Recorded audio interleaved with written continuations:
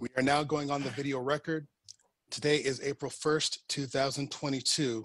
The time is approximately 11:20 a.m. This deposition is being held remotely via teleconference. My name is Joel Patrick, video specialist representing First Legal Depositions.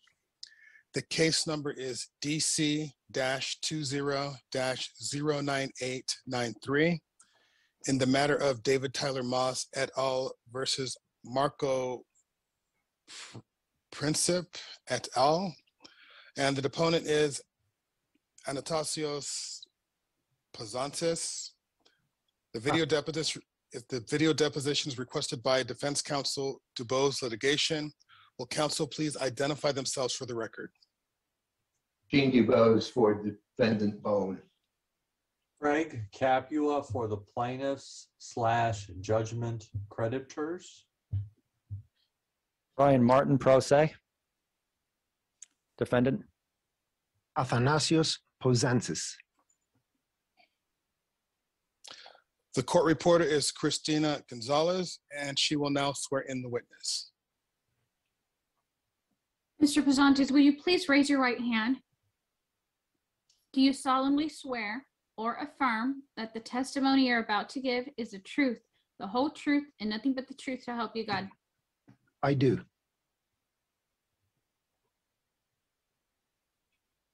Mr. Pasantis, um, would you state your name for the record, please? Athanasios Pozantzis.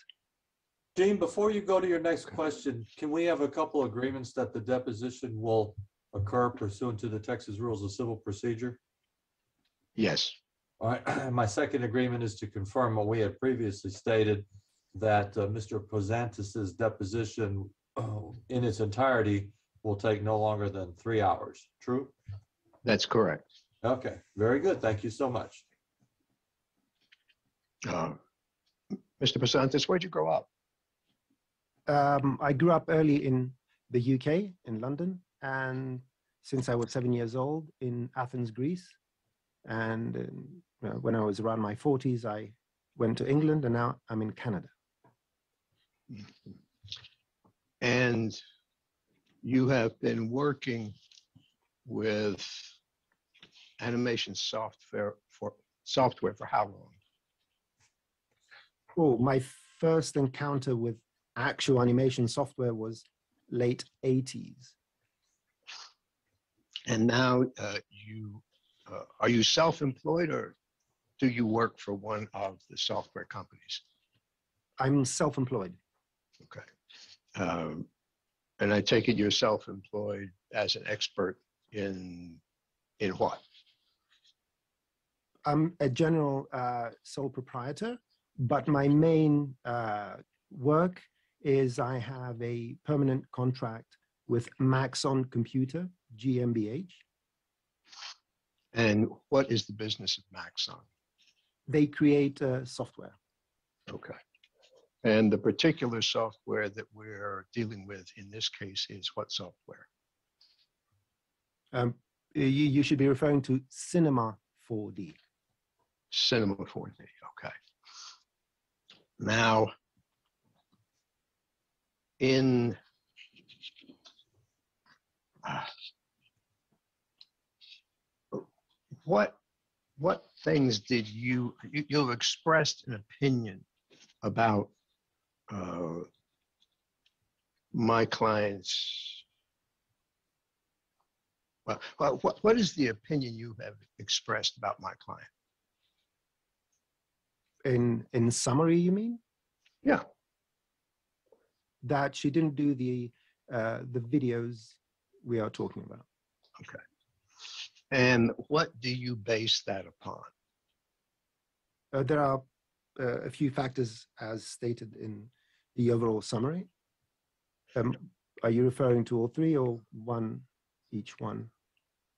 Well, what what what are the the the factors, as you call it, that you relied upon? Uh, basic lack in uh, her knowledge about many things in regards to the software that will be pertinent for her to be able to do these animations in their totality. And from what information did you gather that she lacked information?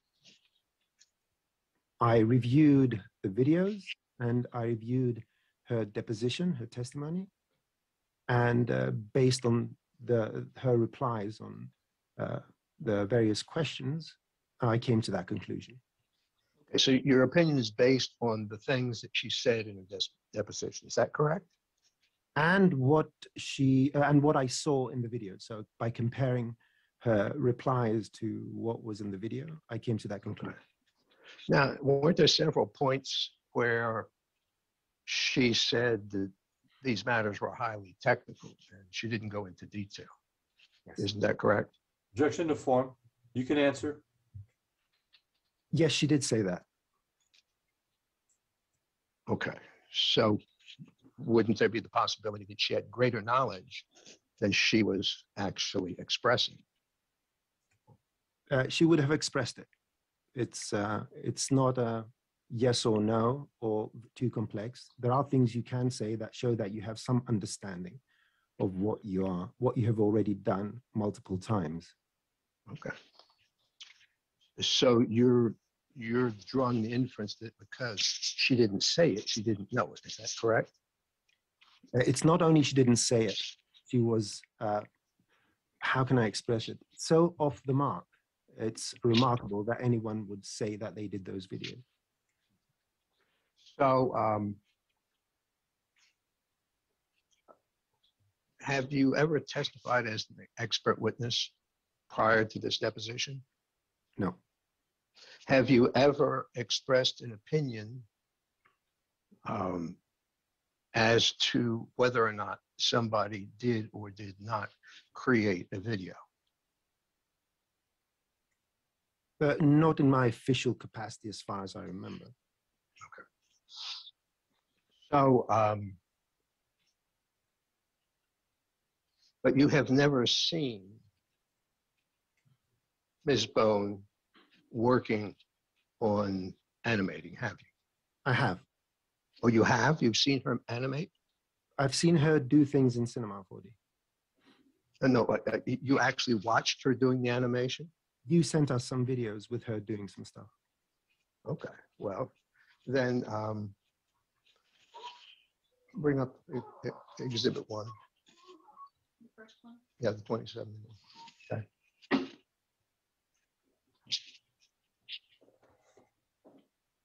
Uh, Now, we're going to show a video that Ms. Bone has uh, prepared for this deposition. And I would like you to take notes and find out if there are problems with it and inaccuracies. Because this, this is a rather longish uh, video. Am I allowed to take notes? Yes, please. I, I want you to do that. Oh, it was Because- me, yes. Yes. Get it going.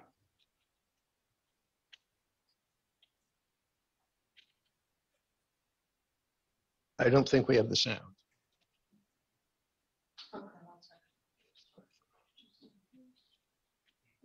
I've lost video.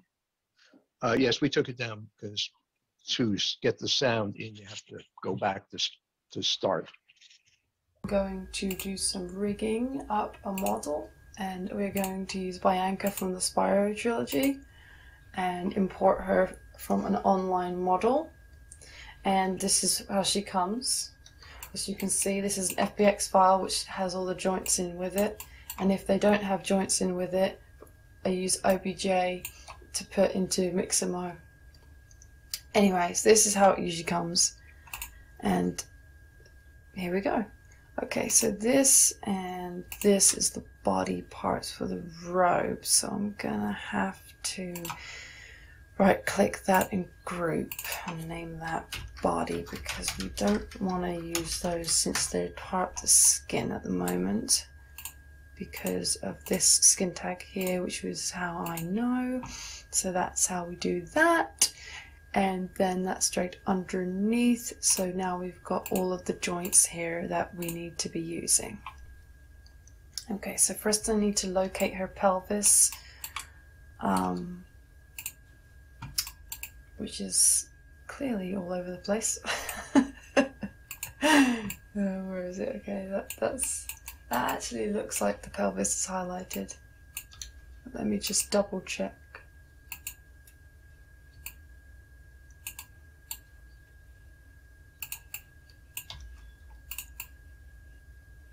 Yeah, that's the pelvis. That's the pelvis. So we'll just rename that pelvis, color that icon.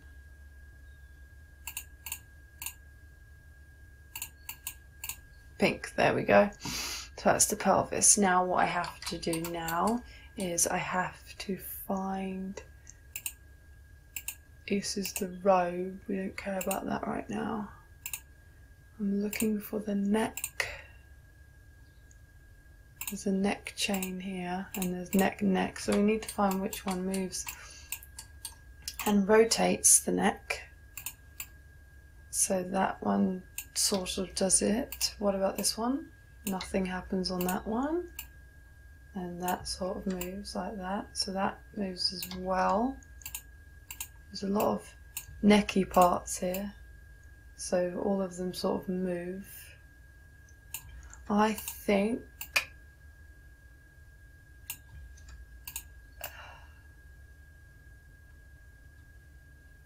yeah, we'll, we'll do that one. So that one there will be named neck because we'll be moving that as the head. And then we will color that red. So I know which one to move in animation. Okay, right. Now that that's done, I'm going to now move the arms and twist the arms. So in order to do that, I have to go down to, I believe it's probably hips for this one. So we'll do the legs first. As you can see all the joints here, which some of them are connected to the robe. We've got our hip and if we open all these joints up, it will show where the joints are. So that's connected to the foot. So I need to go up to the hip, which is perfect.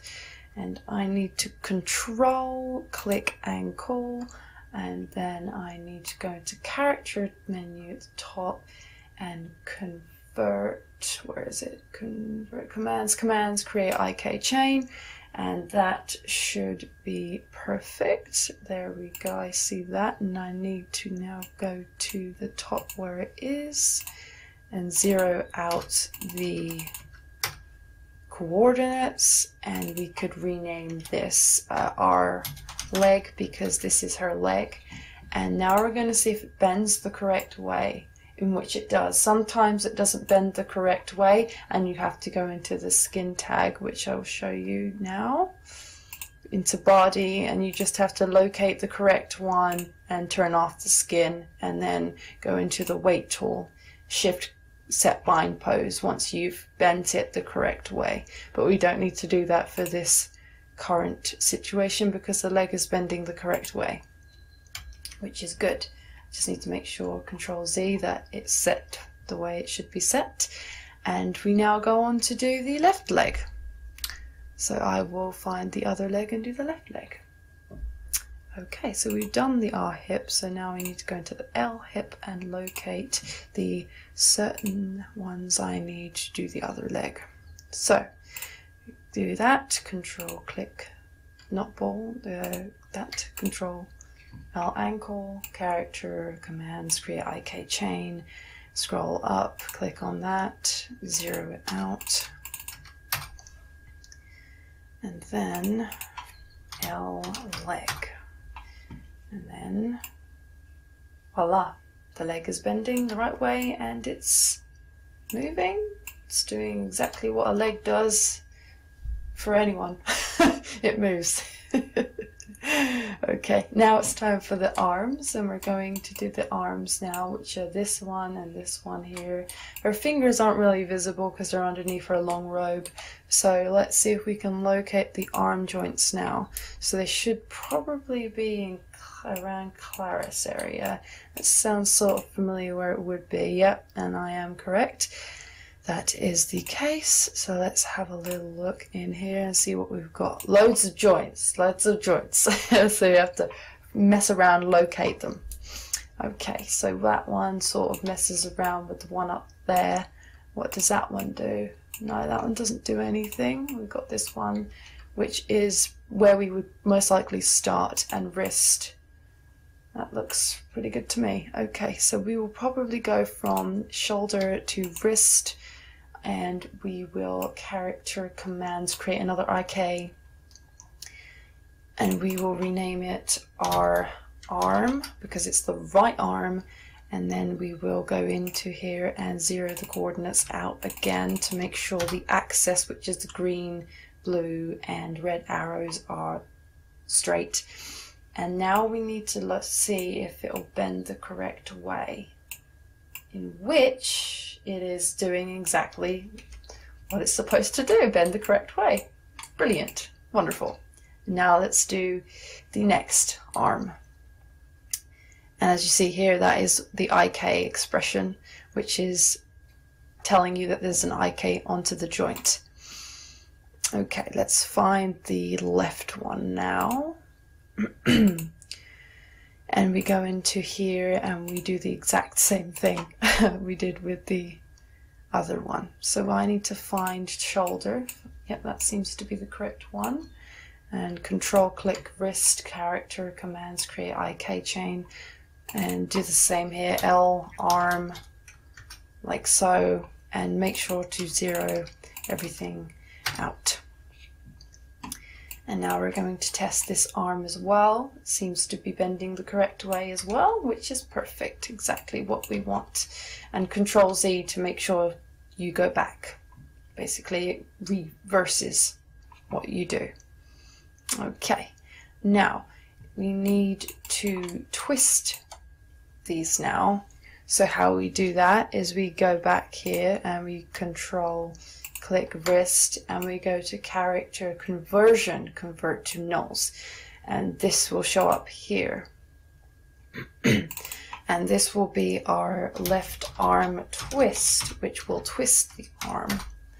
And we need to drag that all the way to the top underneath the other nulls.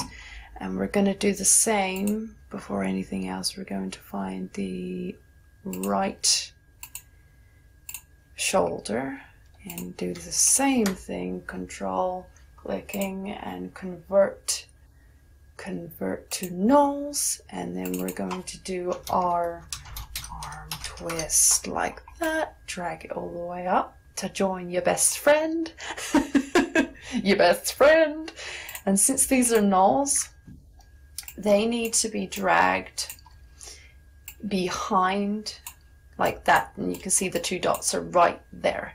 Now what you need to do now is you need to go into the right shoulder and there is pole vector and then it shows an object. So where it says right arm twist you want to drag that in there and it connects. You can see the pink has just come up which means it's connected. And now I do the exact same thing to the other one. If I can now locate it I've just lost it. Okay there it is. And you click on left shoulder and you drag the left arm twist and you drop it in there like that. And as you see it's slightly moved and that's exactly what you want because it's now connected. Okay. Oh that's a chatting. Okay now let's see if it works. And it does. The arms twisting. You can see it on that one. And same with this one the arms are twisting. It's perfect. That's exactly what you want. And now I'm going to do the exact same thing with the legs. Don't wipe dry throat. oh, time to have a dry throat. right. Uh, let's find the legs. The legs. Once you're down here, the hippies. Hippies! Hippies! Hippies. Okay. Right. So we are going to click that and carry on. So let's do the same thing we did with the arms. Convert to null. And then find it, which is right there. R, leg, twist, and drag it to the top like that. and then do that. Do the same. Originals. L, leg, bad at spelling. Stupid woman I am. Uh, okay, so you got that, um, and voila, you click those two and you drag them out like I was supposed to. oh, that's funny. And then you go into here, and then you click that, and oh, it's just disappeared on me. How dare you! and you drag that in like that, and it connects. That's what you want. That should have happened in the first place, but you know, trial and error. Okay, there you go. Now it hasn't moved. Oh my god, it worked! Because I'm genius! Yeah. Okay, so that has now made it twist properly. It's twisting properly, like so. And voila, you have now made them twist and now moving and ready for animation when it comes to the arms and the legs, which is amazing, darling. Okay. Uh, we are now going to click here, shift click, right click these because they're the controls. And now we are going to group the object and call it controls. Voila! Now you have here all the controls you need to move the arms and the legs. And we have already sorted out the neck movement down here with the joint. So that is the character prepared for walking and moving arms. Okay, now what I'm going to do is I'm going to just click on the wrist here because we're now going to use pose morph with making fingers move. But before I do anything, I need to turn this robe off so I know what I'm doing. So go into body and locate where the robe is and that might be it. So what I'm going to do is I'm actually going to just turn it off and you can only see what's underneath the robe, which is exactly what I need because I can see her hands now. So this is perfect. She has nasty looking claws. Look at it. okay, I never even knew she actually had claws. I thought she was like a human like animal, but without claws. But let's carry on. Okay, so our wrist. You want to make sure that you put a pose morph on the wrist because that is where her hands are and that's where it's going to be moving and it will allow you to have all the joints underneath sorted. So I'm going to right click wrist and I'm going to go into character tags. I think it's character tags. There it is, that uh, dumbbell looking pose morph. And we're going to tick position, go back to basic scale, rotation, points, UV, user data, and the hierarchy. The hierarchy allows you to move anything underneath the pose morph, which is underneath the wrist here. So that will allow me to move all the fingers with each um, movement. So for pose zero, we'll name it fist because um, we'll make it a, we'll make a fist. We'll make a fist. Um, so that's what we want to do. Right. So we go up to the fingers and we have a little look at what we need to do with the fingers. So fist is at 100%. That's what we want. And now we've got to just locate the correct fingers. So I think we should start with rotating everything apart from the thumb because the thumb goes on top usually. Okay, so this is this finger, which is first, so let's see what happens when I bend it. Wonderful, it bent a little bit, that's perfect. So we want to sort of do that with each finger. And she's only got four. She's not a human, she's got four, so that's fine and then you have to go into the other joint and bend that one slowly. Just sort of make a fist posture. That's what you want and just take your time with it. Make sure you want to do it the way you want to do it. Um, like so.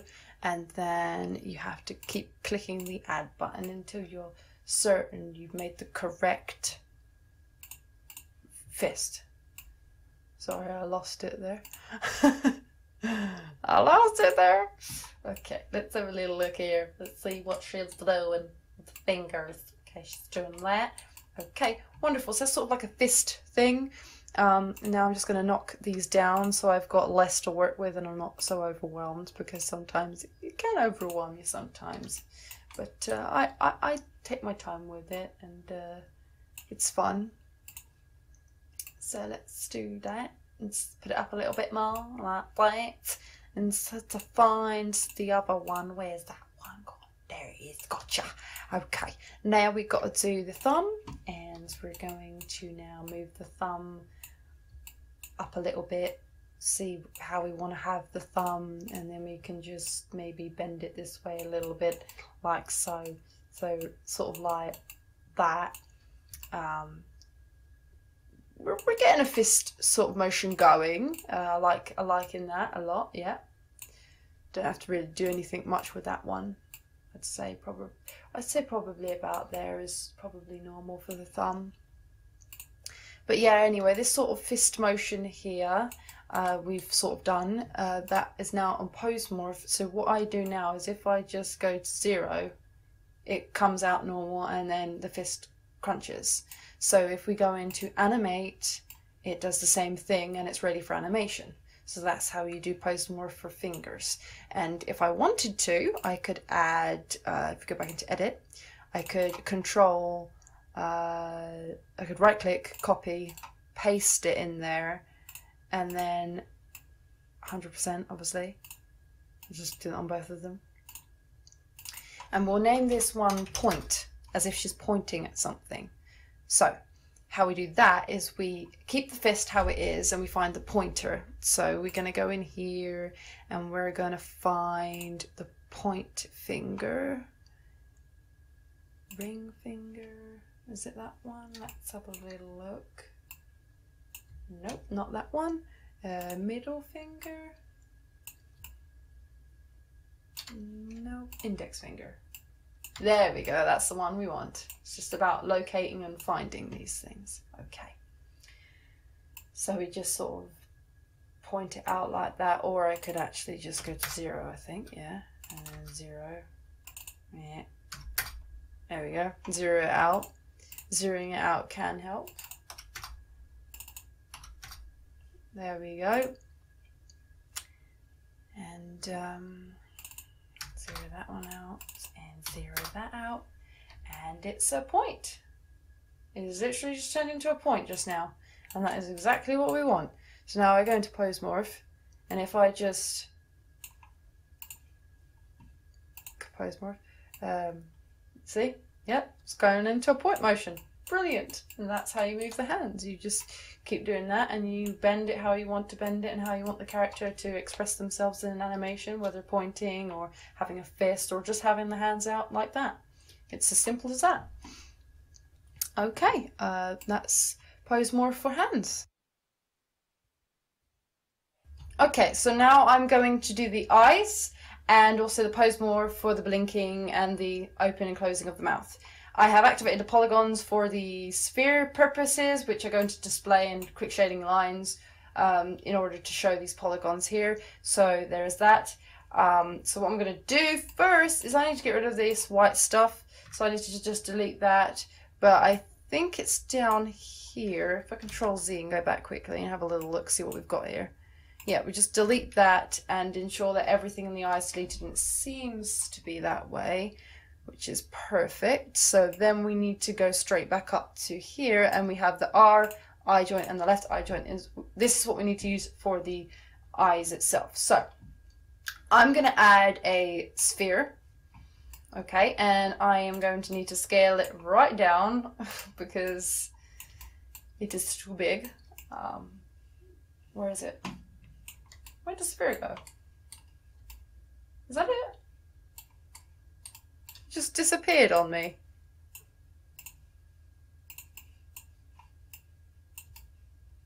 Okay, well anyway, um, that's weird. I will add it again because I don't know where it popped off to. Uh, anyways, let me shrink that down. Okay. Perfect, like that. And then I, I just want to create materials to make it an eye color. So I'll add the white first and then I'll scroll in and go to the very top where it's sort of like an eye shape. That's what you kind of want. So you're going to make it editable click on the polygons go to selection at the top left where the arrow is in the circle and you want to just drag and your, your uh, mouse around that. Create put new material do the black color and you want to just pop that on like that. And now it's sort of made a an eye pupil and that's what you want for the character which is perfect. It's exactly what you want Okay, so now what we're going to do is we need to drag that down to the actual eye joint. So if I can find that, I will use the right eye first. And then I'm going to go ahead and coordinate them out to zero. And I just need to scale these down to fit the eye and concentrate on the eye. Okay, I'll make it a bit bigger, see how that is. And then we're to have to adjust the joint to fit inside the eye. So, sort of like maybe there, mm, there maybe. It's just, you know, you want it perfect. You want it to be sitting perfectly. So that, that seems to be okay. So we're to control, drag the sphere down, and we're going to put it in the left eye as well. And then we are going to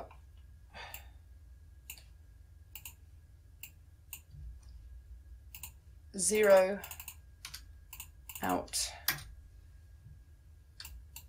the sphere. And then we're going to do the same thing with the joint. We need to drag it back enough where it's behind the eyelids here that are adjusted.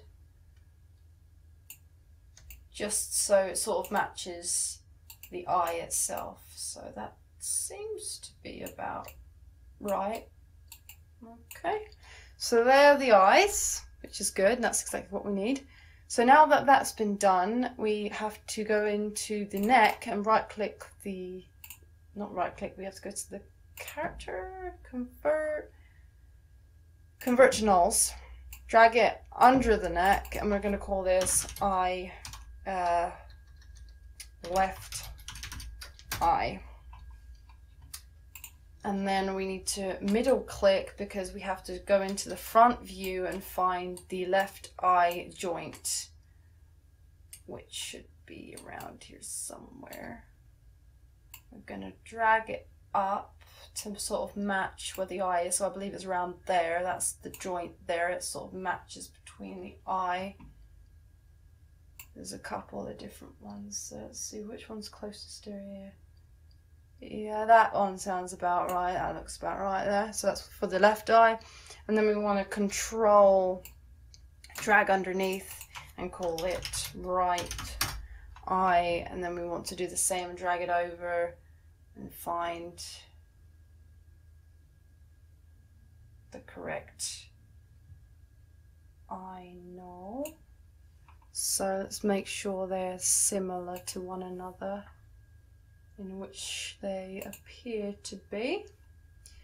Okay, and then we need to group these and call them eye controls. And middle click the mouse to here. Okay, and then we need to open these out. So what we need to do now is we need to go into the sphere and we need to right click the sphere and then we need to add in a constraint tab. There it is. And we need to do PSR and aim and we need to do the same for the other sphere which is connected to the other eye which is constraint tab, PSR and aim. Now for the PSR you need to ensure that the joint is connected to the PSR so the eye remains where it is on both constraint tabs. Like so. And then in the aim you want to make sure it's the eye nulls here. So for the RI you need to make sure that RI is put into the aim. And you need to make sure in the LI that the left eye is put into the constraint. Okay now we need to locate the axis to make sure it's in the right place.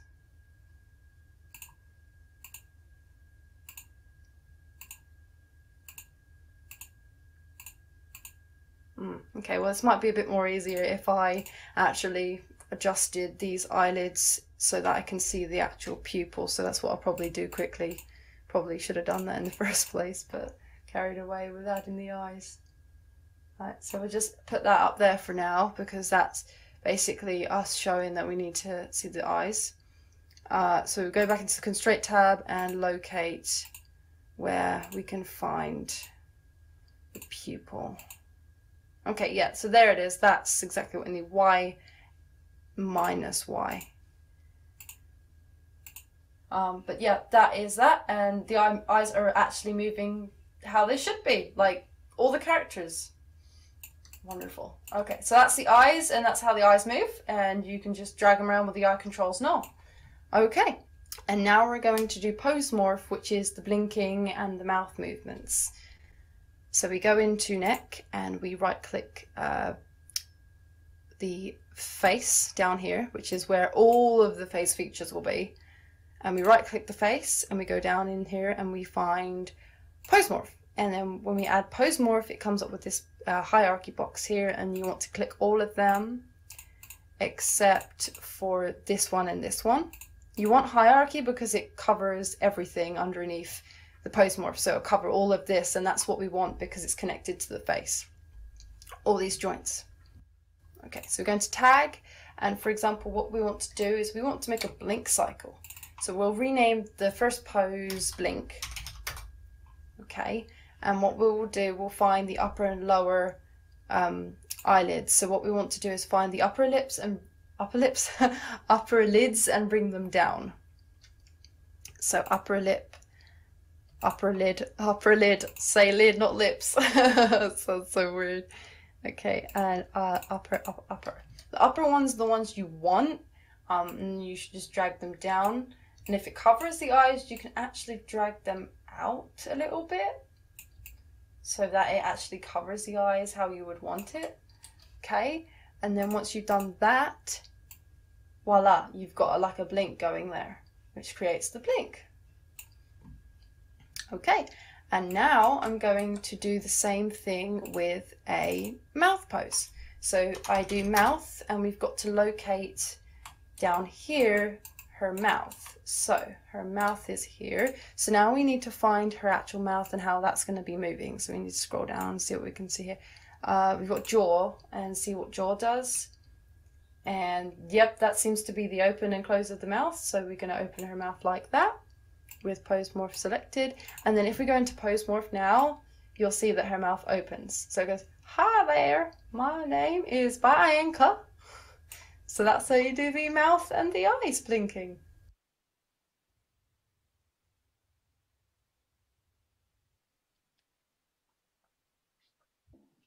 Now would you bring up number two? Again, keep taking notes if you will. You'll be here for a while. Well, not more than three hours. No, I think, I think we're gonna make that, but, um, Also going to use this model to have as if she's holding something. So I use Espresso for that when I have all my characters that are like Bianca, Baldi, uh, Sonic, those type of characters use Espresso for the wrists to hold certain items, and I'm going to show you how I do it. So this is how I do it. So I need to find the wrist, the wrist. um, if I can use my eyes. There's a wrist here. So we'll use the right wrist. I think what we'll do is we'll probably end up adding a cube. So uh, right click, go into Cinema 4D tags and click Espresso and it comes up with this box here. So you'd want to drag the wrist into the left here and we'll minimize that briefly because now that we've got the Espresso tag in there, it means that you can drag and drop objects into the wrist at hand. So if I had a cube, which is quite big, and shrink it down, for example, I could just drag that up like that and just shrink it to size. If I wanted to color it, I could color it uh, or whatever. So I've got a cube here, and if I want to have the cube added, first I need to group it into a null and call it cube or whatever the item's called because I then go into the espresso and I drag the null in and I go to the red part here, click that and go to global matrix and same here with the left side of the blue square and click global matrix and then drag the circle onto it and it connects automatically to the character. Now, I need to ensure that I have the cube where I want it. So for example, say if I wanted it above the robe, let's move it and rotate it the way we would want to have the cube sitting on her. So like that, it's connected to her wrist. So basically that's that. And now if I move her arm, I think it's the right arm, twist it, it's connected, control Z to make sure it goes back to normal and go to our arm and up and down. So basically it's literally connected to her arm now and that's how I have characters hold objects or whatever in which arm I choose by using Espresso.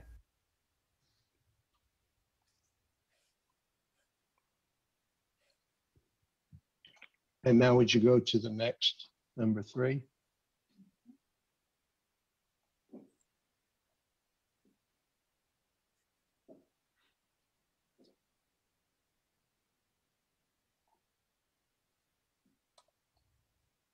Once I've animated the character joints and did everything the way I wanted it to be prepared for an animation, I then have to organize and sort out the model correctly. So I would group the pelvis and I would group it and call it char- character or care for short because it's short and easy. And I drag that above controls out of the armature and then I can delete armature because I don't need that anymore. And then after that, get rid of that cube because that's for uh, for espresso. Uh, we have to add in a end side which is going to be called by anchor, because this is how I move the actual whole character in the first place. Like Baldi and Sonic, there's always that end side, uh, end side I use for that.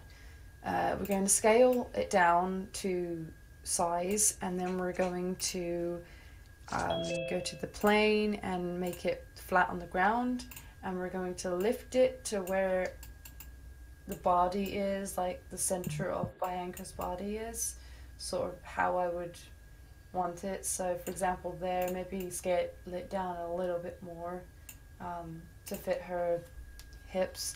And then I'm gonna add the character to Bianca and the controls to Bianca. And there you go. It's it's easily uh, organized and it's easy to animate with once you've put it in uh, the character. So now we've got the controls and the character with the pelvis and all of the joints and you've got the IK, the Espresso, the pose morph and that'll be on all the other side of the wrist and all the face features that'll be done. So yeah, that's how I finish a character. Okay, if you will do the next one, please.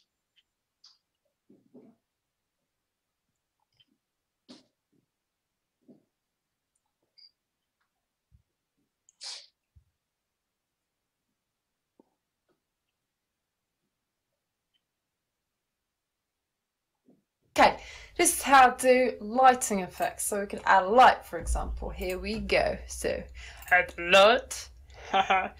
now, uh, I could make this into a torchlight, like a flamey sort of thing. So what we could do for that is we're gonna need to add a sort of scenery to this. So I'm going to use this cube and shrink it down and make it look like a wall or some sort behind the light. So as you can see there, it's already doing something. So that's pretty cool. But you have to make it a bit bigger, I think, and put it over here. Then we're going to add a floor. I'm going to put it down here as if it's like a, a floor and there's a building in the way. Okay, so we are going to then, uh, we could change the color to red maybe or or orange. We'll, we'll do orange and we'll make this light, uh, we need to make it visible. Okay, because now we're going to go into the visibility and we're going to play around with the inner and outer settings. to my liking. Like so before I do anything, I'm going to render this to see what it looks like. It's very, very big. So we're going to have to shrink that down. And there you can see it's starting to come out to be the way it should. Let's see what that does. So you've got a little glow thing there. And details is used for the outside. So we have here falloff. We need to take that to linear. And that will control where the light goes in and out. So three, for example, we can go from 500 down because as you can see here, the light in is not showing on the cube, and the more you do it, it shows in the cube and in the room. So if I render that, it's now shining, and you can see that little visible light there. And what we can do is we can add some noise to this, so make that visible. We could click wavy turbulence, and this texture here shows you the texture that it, will be. And then um, the brightness and contrast needs to change so we have more contrast to make it brighter and make the brightness lower so let's see what happens if I do that and the reason that can't be seen is because the visibility scale is quite high so let's go five centimeters to five centimeters and five centimeters on the visibility and see what happens there and there you go you can see that cloud sort of structure there which is really good. It is starting to look like some sort of flame. And the wind down here is used for in what area you want it to go and it actually moves. So when it's like rendered like a 50 frame scene, it will show a moving light torch object or whatever you want to create. Okay, so we could even make this brighter and make the not not the velocity, the brightness lower. And then it shows more of the texture, which is really good. And visibility, we change the brightness. We can change the brightness of that to whatever we like. So for example, I could change that to 250 and it's starting to get brighter, you see. So that's sort of how a torch effect would be in a room, for example. And there you go. Uh, also, I could potentially add a figure in here. Uh, there it is. It's pretty big, so we'll scale that. There's a scale tab in the menu. We just scale the person down and we can just drop him alt um, right click and drag into the program obviously and we will have him standing in front of the light and if I render it, there is no shadow. However, if I go to light and go into general, you can actually add a shadow and that should give you a shadow. So that's how you deal with light effects when it comes to torches and lights being in a room and etc. Yeah, let's uh, do the basic um, basic particles, number five on your list.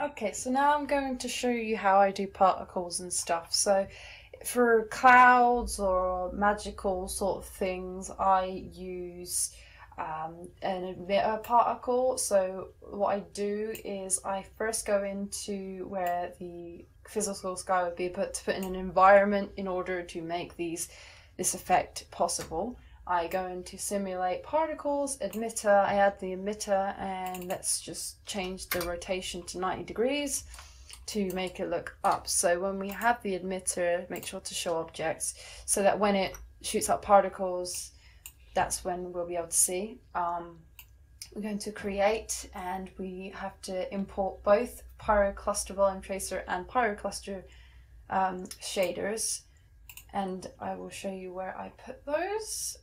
We do shader pyrocluster and you put that pyro cluster arrow looking vortex thing and you drag that into the environment and then you have to make sure that the pyro cluster which is clicked is changed to user and anywhere between 20 to 20 25 to 50 on the world step size so that it renders quicker um, when you're checking render.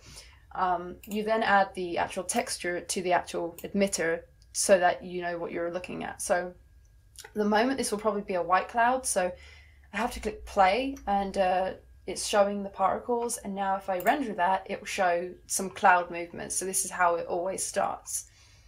So I'll probably end up like making a hundred frames or something just to get this going. And the emitter has all the controls. So here you've got the amount of cloud or whatever you have in render and editor and the visibility, the start and stop when you want it to start and stop, and the lifetime of the particles from like when it starts and if it stops at certain amount of frames. So we could have it at 35, um, the amount of the cloud, which will literally, you can see it right there. It's probably going to be quite a lot. As you can see there, it's like smoke, and that's how much we've just put in there. Um, we've also got so start and stop is just the length of it. So I if I put 50 here, um, it will literally start at zero and it will stop at 50 like it'll stop coming out as you've just seen there. And if I click play it no longer comes out. So as you can see there that's how it goes. So we'll keep it at 100 for now. Um, lifetime is the amount where it stops. So say if I had 20 frames uh, it will play and it will just stop at the top there. You can see this part here is stopped. However, if I changed it to 60, um, it will carry on going until it hits 60 frames. So that's sort of how that works. Um, and you can use the emitter to rotate the cloud and you can go into the uh, Pyrocluster to change the settings on that. So you can change the, the way it looks, you can change the color, the age color, all that sort of thing. So I could make this uh, an orange cloud, for example, and I could mix different sort of colors. So there you go. So now that if I click play from the beginning and pause, it's an orangey white cloud and it ages white with time. But if I wanted to, I could potentially change it to black instead. Um, see if I can get rid of that one. Yep, I can. Okay, I think that's the only one.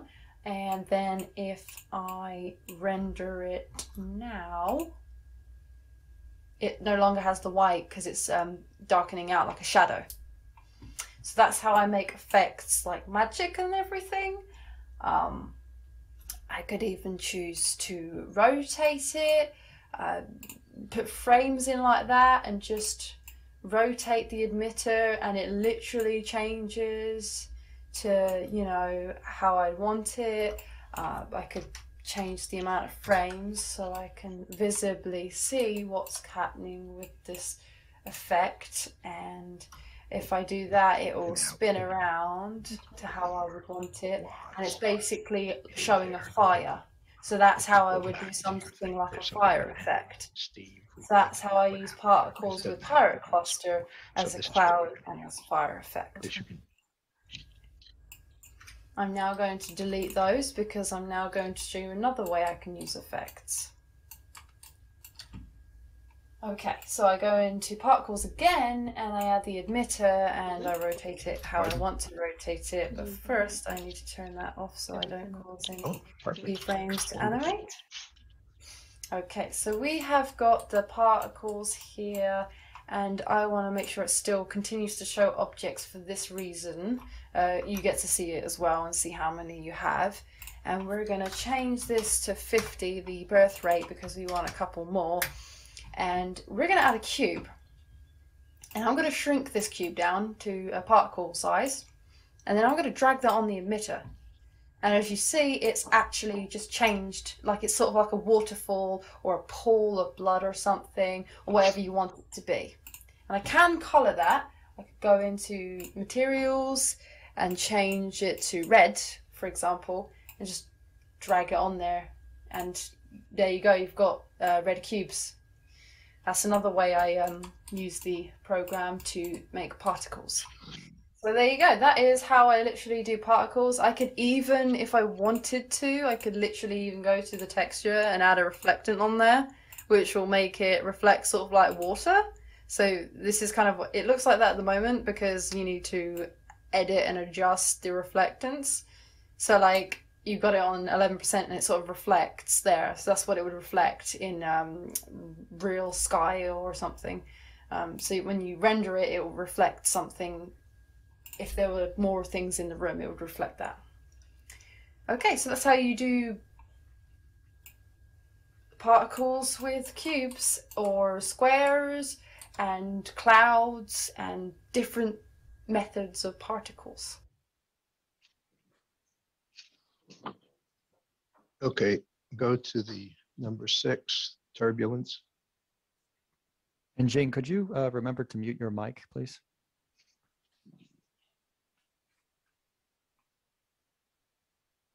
I will, sorry.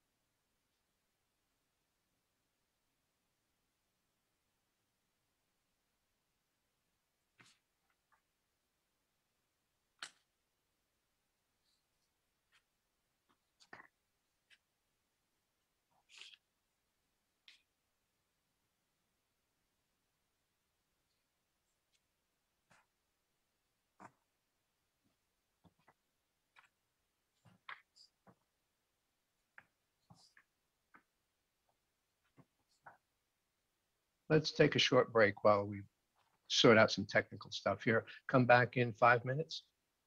It's ready. Oh, it's, wait a minute, she says it's ready. Okay.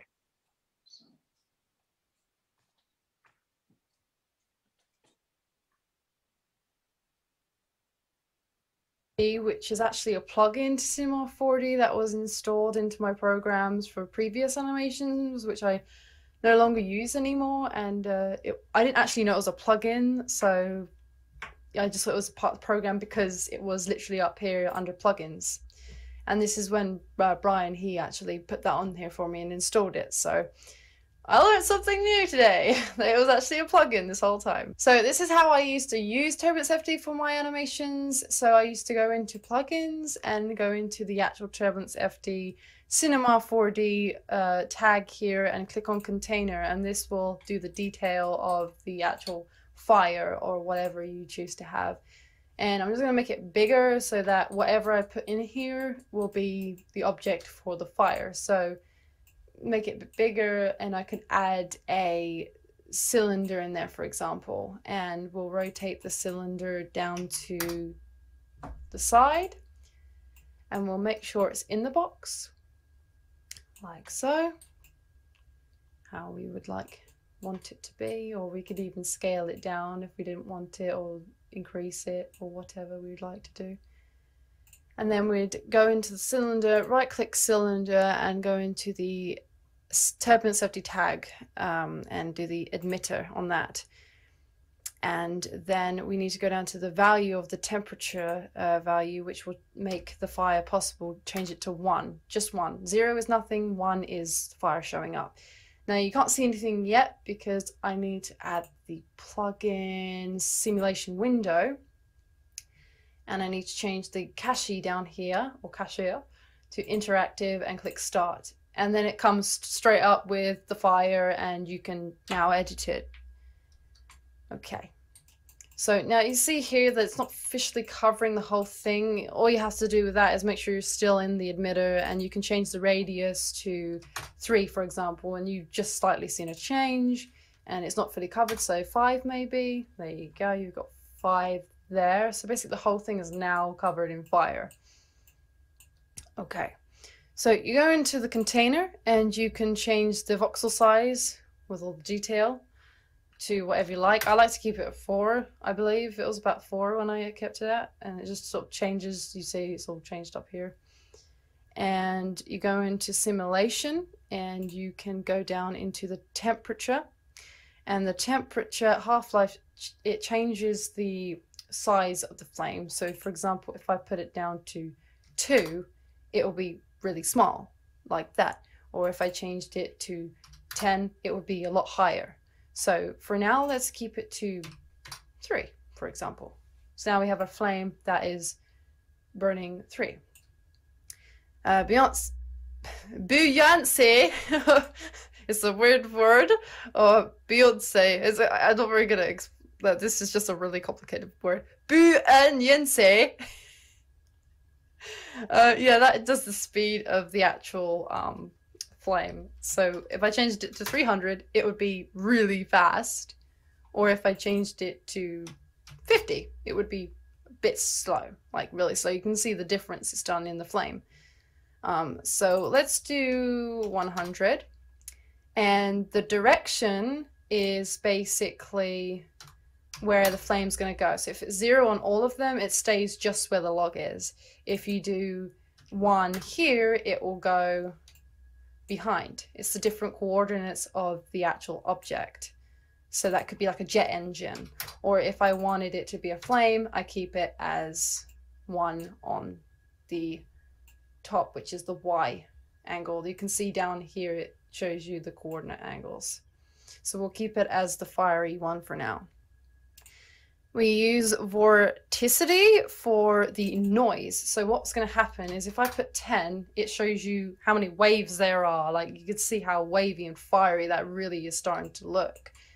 So I guess I could keep it down to 5 and knock it down a little. So you still got a flamey look there. So that's that. And if I wanted to, when it comes to saving uh, the actual uh, flame effect, as an asset to an animation.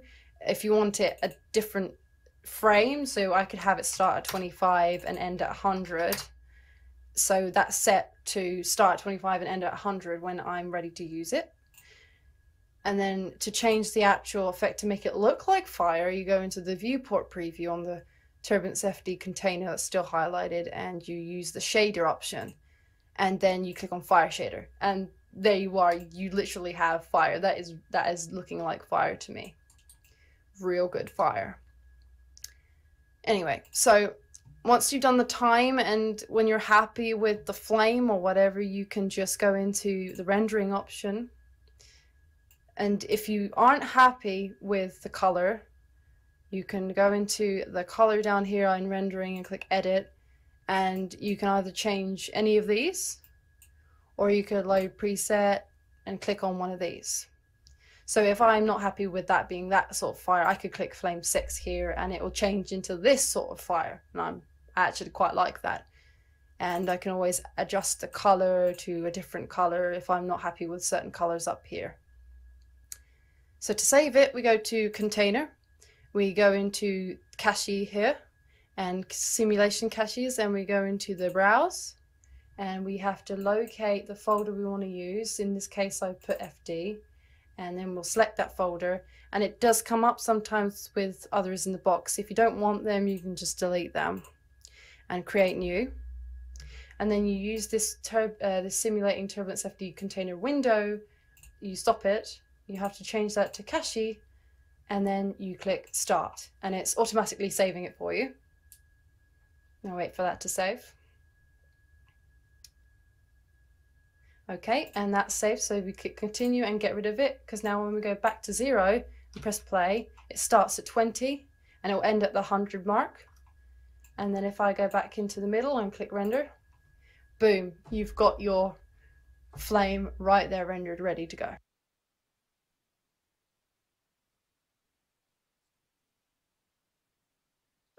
Yes, the next one is number seven, quick fractures.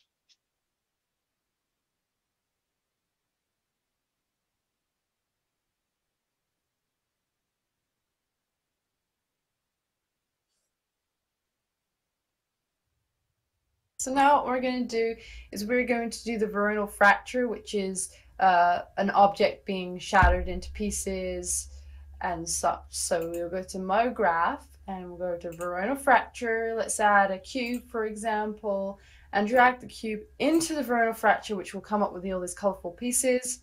And then you go to Voronoi fracture and then you find the simulation tags and click rigid body. And rigid body allows it to shatter into pieces. So if we go to dynamics, trigger is immediately, and the collision, the size increment is how big the explosion is. So for example, we could do five, and five will show a small explosion. Uh, if we go back to zero and do 20, it'll do a bigger explosion, and so on. So, what we can also do is we can add a second cube to this, like a separate second cube, resize it, and we can move it over here. So we'll want to move it way back for this because we're going to try out a collision. And we're going to right click the cube. We're going to add a collision body on it and then we're going to go to Voronoi fracture and we're going to go to the trigger and click click on collision. That way, when we go into the keyframes and get the cube and then drag the cube into the Voronoi fracture object, it should shatter into pieces. Like so, as you've just seen there and I'm just going to play that again. And it just shattered into pieces because it hit on collision. And that's how I use Voronoi fracture. And the next one, which is eight, basic fur.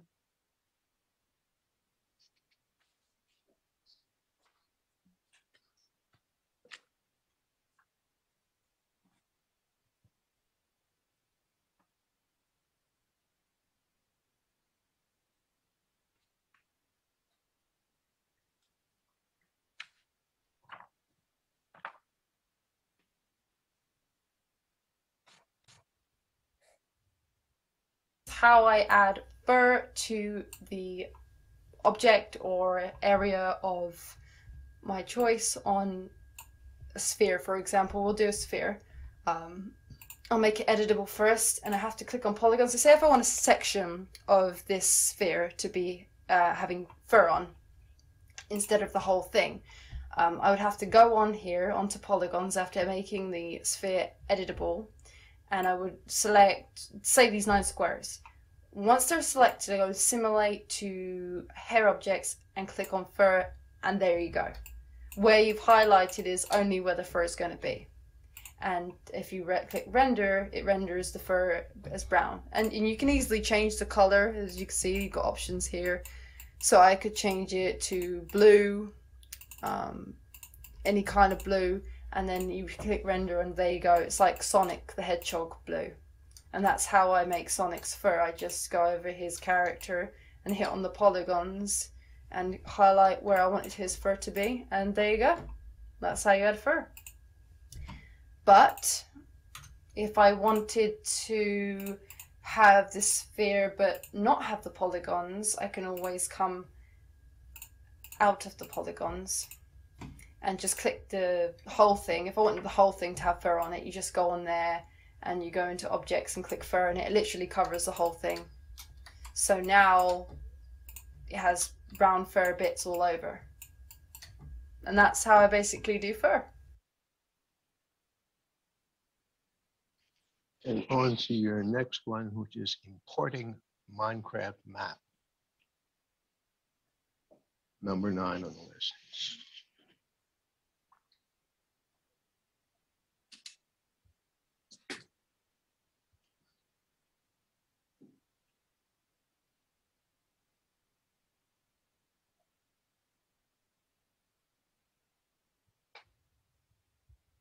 To import a Minecraft map into Cinema 4D using Mineways. So I have Minecraft worlds on uh, Mineways. So this is how we do it. We click on Mineways, the updated version that we have, and it comes up with this box here, and you go to File, you open a world, and these worlds here are the worlds I have in the actual Minecraft game. So I could click on New World, for example, and it shows up with this patch of Minecraft world. Okay, so in order to get this, we right click and drag across the amount of the world that we want. And we click yes because that's what we want. And it should usually automatically do it for you. But you can adjust the amount of depth you want. As long as it covers to a light purple it should be fine. I'm going to stick to 50 and the height adjusts the height. So basically that's the underground and this is going to the overground. So we want to make sure that we have pretty much everything on the overground so I'd say anywhere between 185 so that's what we'll do and then we go file we go to export for rendering okay? And I could go into exported worlds and just save it save it in here call it uh world. We'll just call it world. I like to do it in capital letters and then usually this is fine I never really adjust these settings so just click OK. And this will tell you that it's rendering shouldn't take long. It has now asking me if I want to have stats continue to be displayed on the export session, which I do, so yes, and now it's exported.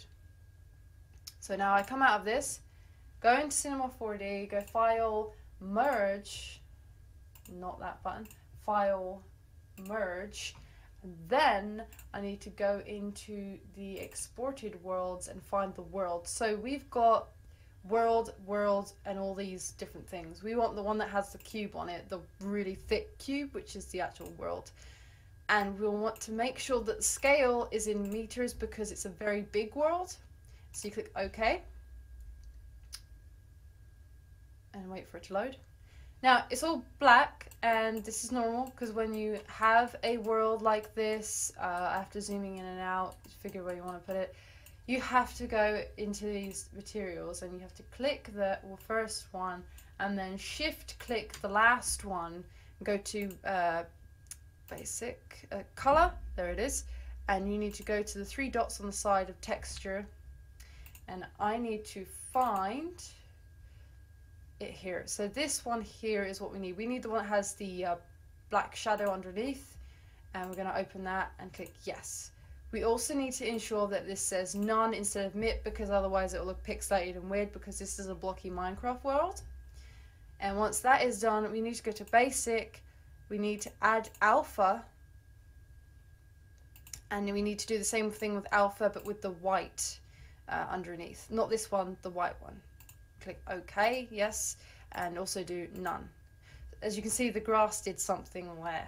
So now if we zoom in and I click render, it now renders the Minecraft world how it's supposed to look. And that's how you import a Minecraft world into Cinema 4D with Mineways.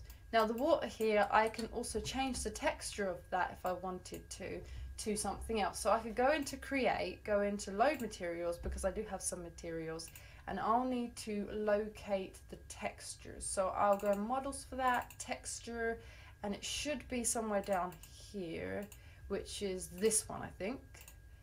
Yep, and here's the water effect. And I click on that, drag it onto the water, and if I click render, there's your water effect. Just here, how you want it. And that's how you have water. If I wanted it to look different, I could always go into the material and have a look at the strength of the bump and change the strength. As you can see, it's changed but I have to ensure the displacement is the same. So let's have a quick look. I changed it to 56, so let's change that to 56 as well. So you can always change textures, mess around with them, see what happens. So now it's all more rigid looking and different. So that's what you can do, but we'll probably go back down to zero because this is a calm river, so we want it to be zero, so it looks more like a bubble. Now see what happens. And there you go, it's clear, as if there's no wind. But um, yeah, you'd probably want it around somewhere like 13 maybe. Uh, it's just guessing, just playing around with it. And yeah, look, see, you've got water. And that's uh, how you change water. And how you create water as well, you can add textures and adjust the bump, displacement, and color. You can also go into editor and click animate preview, which actually when you're playing it, it actually shows you what the water does and what it looks like moving wise, which is quite cool.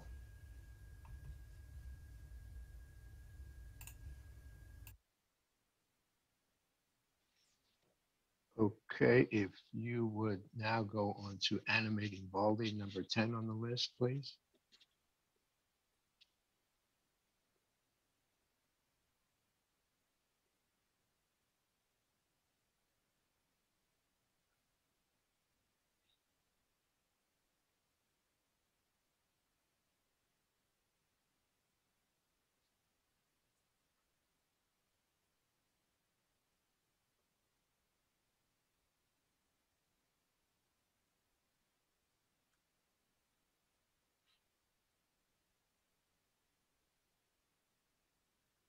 Animate Baldi walking, and I'm also going to add some sound to him and do voices uh, for him as well. So let's get this going. Okay, so how I usually do a normal work cycle is you import the model here, and then you have a keyframe, his body, and you do auto frames. So this make him walk uh, 100 frames forward about here. Okay, and I usually do that, and he's going to do like a really, I think maybe he should be a bit faster than that, since that's a little bit slow. So then let's have a look. Yeah, that would be a good way to walk.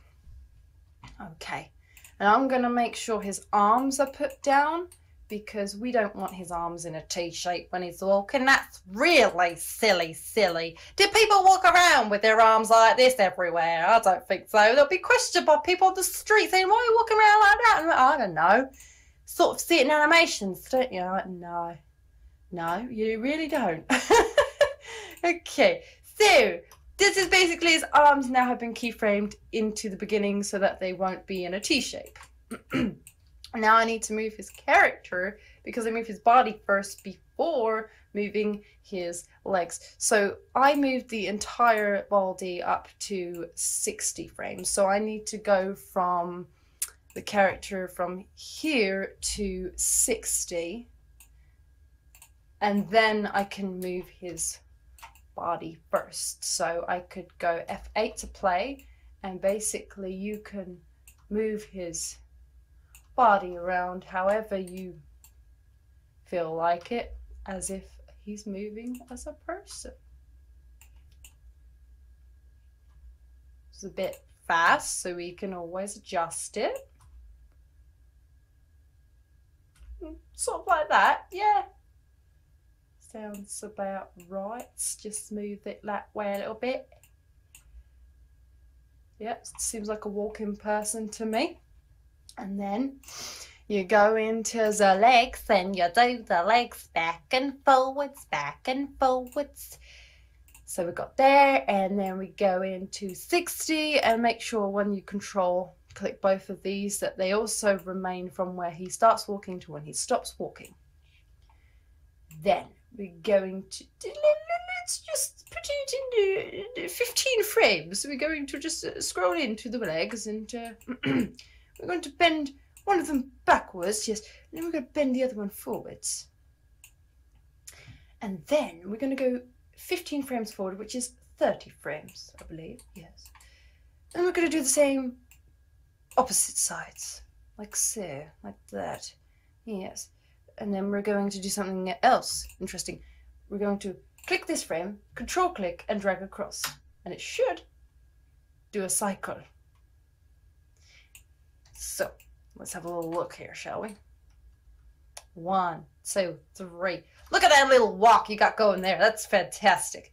and then I usually do the lift up as well. So with the legs lifting, because people don't walk like that. I mean, maybe in Minecraft, but this isn't a Minecraft character, you know.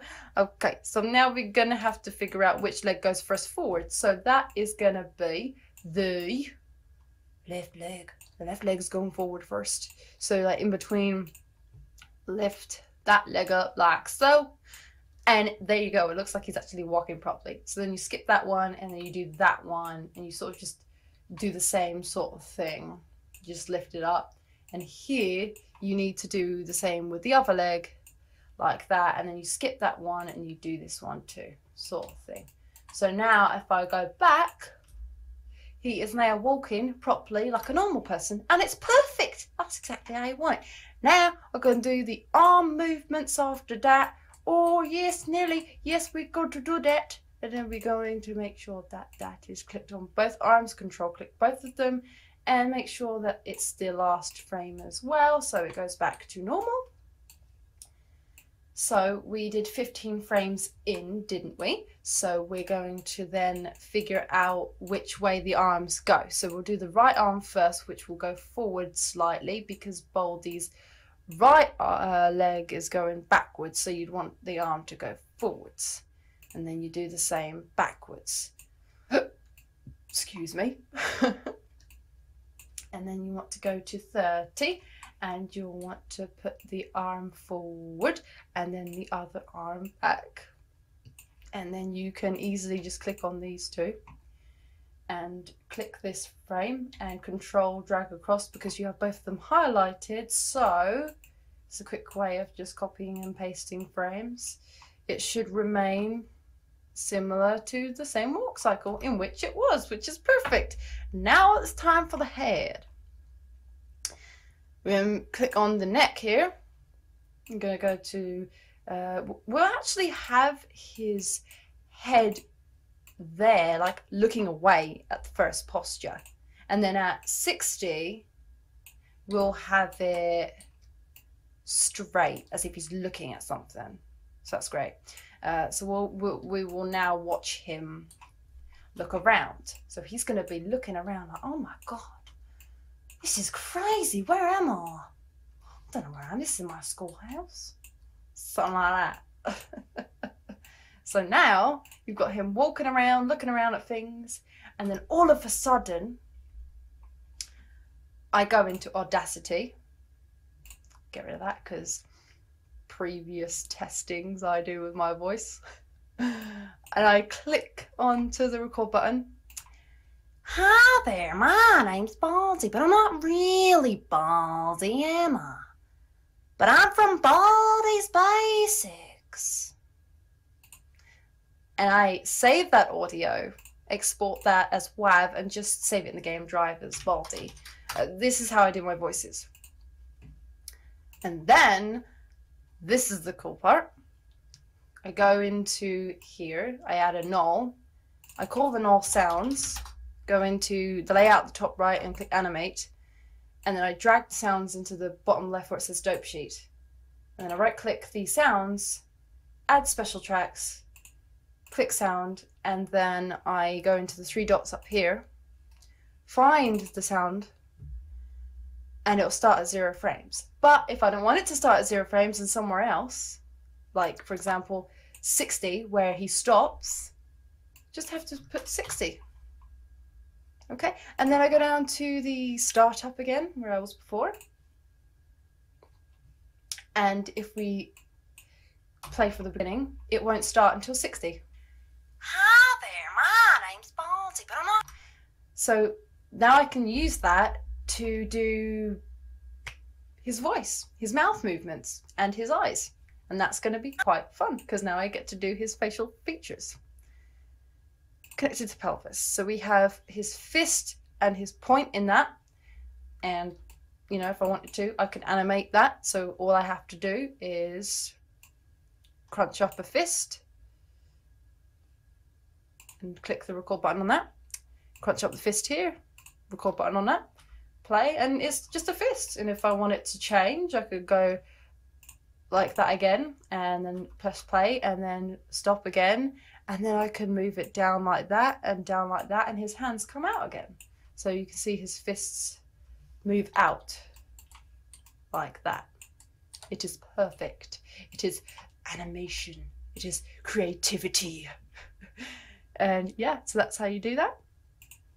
And then I go into the body pose morph, and that's where we've got the mouth movements. And this is going to be the best part because I really, really like the mouth movements. and don't worry, I haven't forgotten about the eyes. I ain't forgotten about the eyes because the eyes are underneath the neck as well. So we've got the eye controls, which is pretty swag.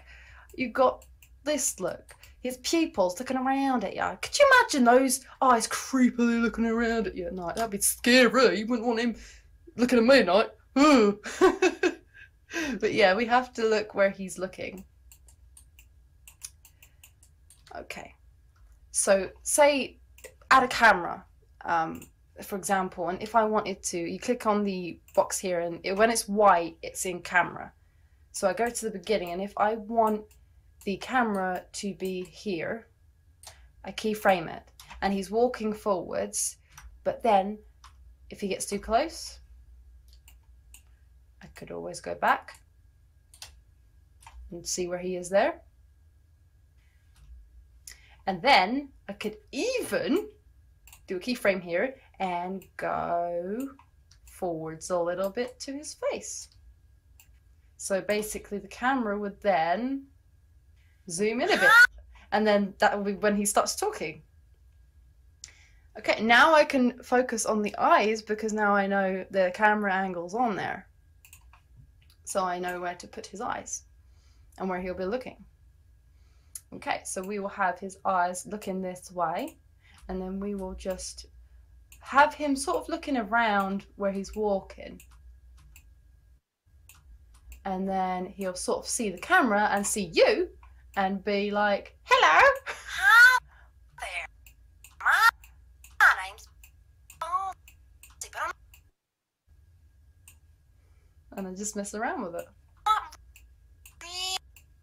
really ballsy. Am I? And then I could even, right, cross eye him. oh, it's funny messing around with him. I'm from Baldi. I just mess around with it, literally.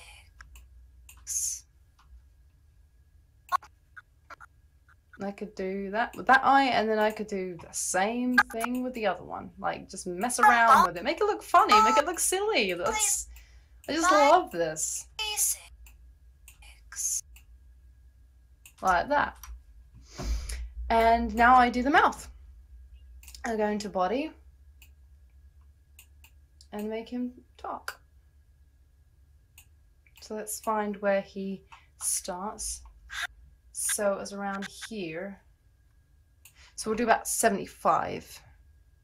So we'll have to have it start here. And then G and F is to go back and forward one frame. So it'll be like, ha.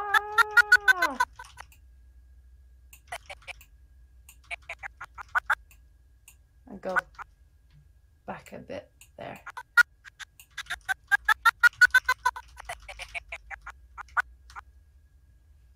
Okay. Uh, uh-huh, uh-huh, uh-huh. But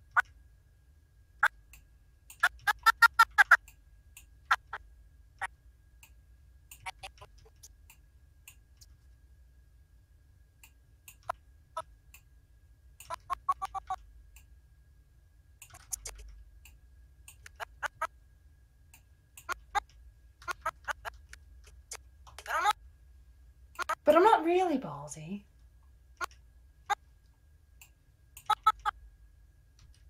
Oh.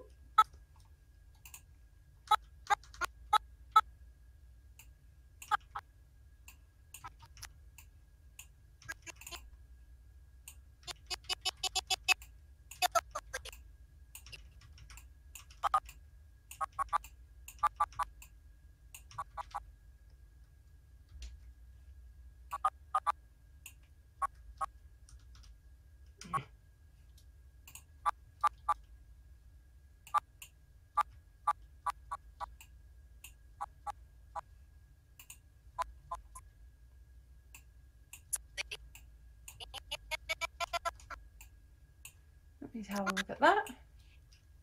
Hi there, my name's Baldi, but I'm not really Baldi. Is that yeah, that's basically sort of how it goes. But you know, you have to go back and forth with the speed and the posture of the speech. So it's that's what's good with the G and the F.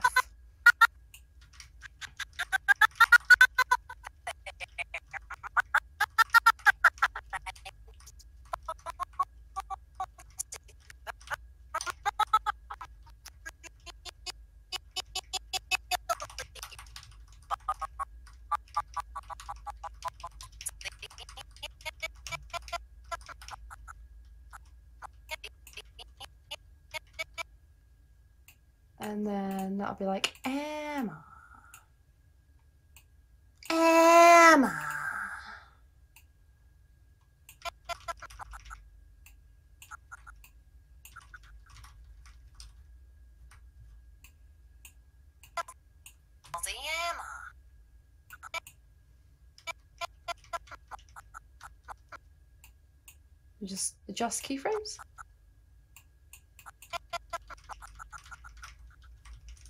And doing the face features is the last thing I do in all animations because it is the uh, longest specifically when it comes to vo- voices.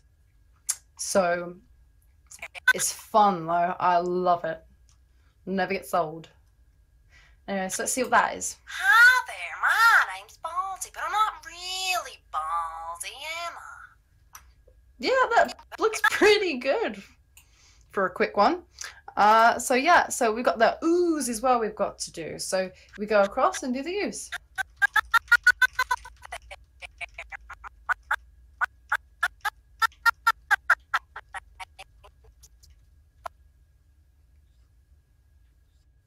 Baldi.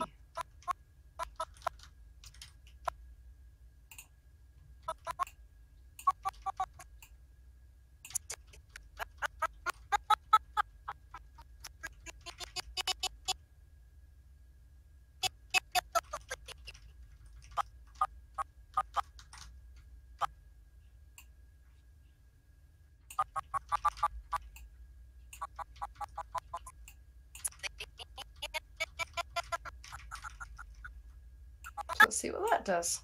Hi there, my name's Baldi, but I'm not really Baldi, am I? see, this is usually how I do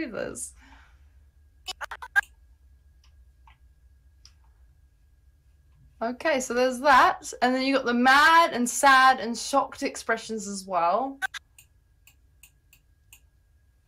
And the frown and the smile. So even during this, I could add him smiling. So I could go from 60 frames and have him smiling a lot. Hi there, my That looks pretty Baldi, but I'm not creepy. really Baldi, am I? That's scary, but I like it. oh, it's great. I like that. Okay, we'll keep that. Mm-hmm. Yeah.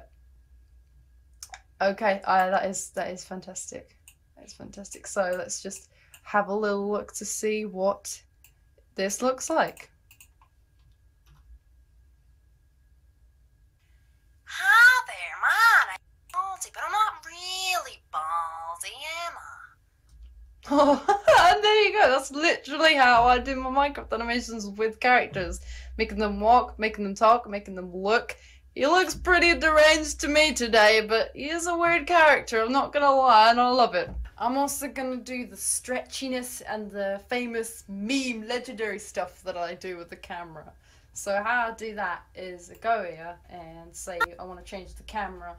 So I'd literally, right, go here and make sure the camera is set to the focal length that it currently is, and then go here and do the same thing here and change that. I'll keep that as 36 to make sure it doesn't do anything. And then I need to scroll into his nose like that.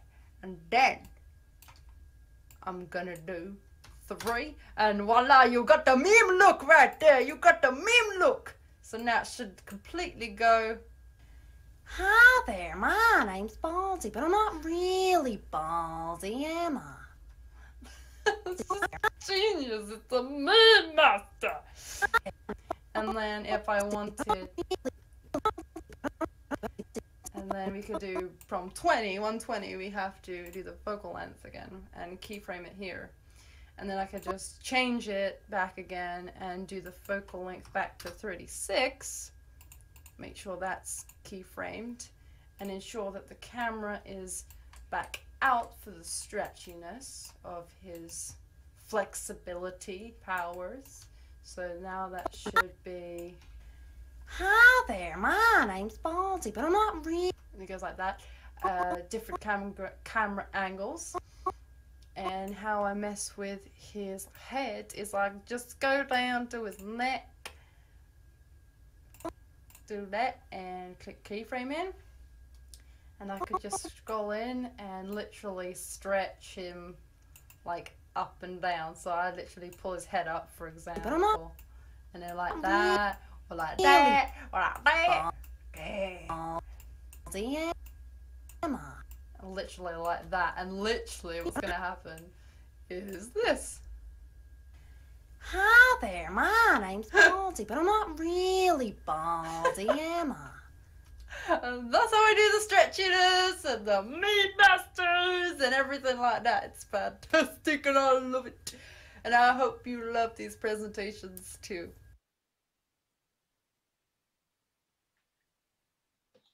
Yeah, the last one, the uh, Christmas jingle ball.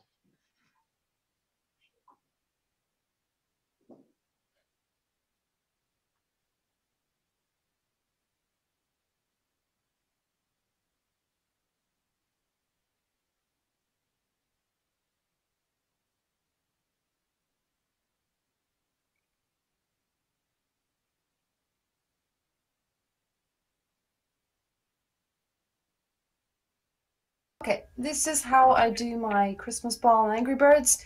Uh, not really. Uh, it's not. It's more my weakness point because I prefer to get models online. But I'm gonna show you how I make a basic Christmas ball. So we just add a sphere, and we change the segments to around 30, maybe, maybe 35, and uh, I think it's hexatron or something that looks familiar. I think. And then we'll, name this body because this is going to be the body of the actual ball.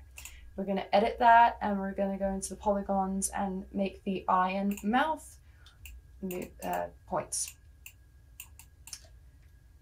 I'm going to go here and just go over, make a little eye or something like that. Something sort of the same on both sides. And then control click and sort of just drops back like that to make to make eye gaps. And we do the same thing with the mouth. We just click and drag over what we want for the mouth. And then we go to the side, control, pull it back, and it sort of makes a little mouth for you. Now I'm going to color this ball. I'm going to color him red. And I'm actually going to add some reflectance on him to make him look like a uh, Christmas decoration. Let's put it down to five. And just drag that and drop that on here.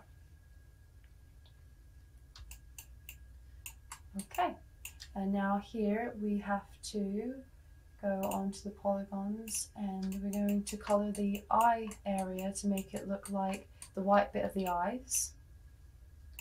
And we're just going to make him look lovely and gorgeous. He's gotta be gorgeous! Gorgeous! So we're just gonna highlight all that. And then once that's done, oh, get rid of that one.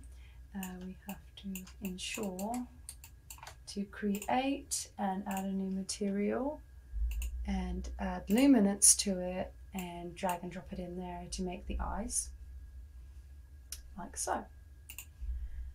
I'm going to right click this and group it because I want to call this the red ball. So that now we have the actual body and the red ball itself. Voila, like so. Voila, like so. Okay. And let's do a pose morph for the blinking. And we're going to do position and scale, rotation points, UV, and user data. And we're going to go onto the body and we're going to go back into the polygons and we are going to ensure we create a tag and we're going to name that capital blink. And then we're going to just shift click over the areas we think will go down. So we'll pull that down and out like that. You could even drag it down like this for a laughs, look. like, woo, woo. But yeah, sort of like sit about there. And then you do the same with here. And then you just pull it up like that, and then it should. There you go, it gives you a sort of a blink motion. Like that, and that's perfect. That's what you sort of want to have. And yeah, and same with the mouth. If we could just come out pose morph, so I'm not doing anything. And we need to click on body and color the mouth in, and we want to make the mouth black uh, to shadow. So we will just create a new material and we will go into color and go to the black color and just drop that in there like that. And then we'll go back to the pose morph because we're going to add uh, mouth movements, just a mouth up and down going ba ma ma ma. And how I do that is I just do the same sort of thing. I go to the top here and I just drag it down. And I go down here and get rid of that and just sort of drag it up. Something like that. And pull it out a bit. Sort of give it different angles and that. And it should just go ma ma ma ma ma ma ma. And to make it look more realistic go to subdivision surface and put that in there and it literally looks like the red ball. And what we can also do to the red ball is add the eye pupils which is to add a sphere and just drop that into the red ball. And we'll want to scale that down to size and use that as the pupils. This is how I do the pupils for the ball and we'll just scale that and put that in here where I would think it would go. Something, yeah, something like that. And then we'll control drag underneath and then I'll drag that one over to the other side like that. And then click on both of those, right click, group, and we'll just name them eyes and then you can literally just move them that way. That's literally how easy it is, and that's how to make a Christmas ball. So you've got the pose morph, the mouth going up, up, up, up, up, and the blink, up, up, up, up, up. And that's how it goes.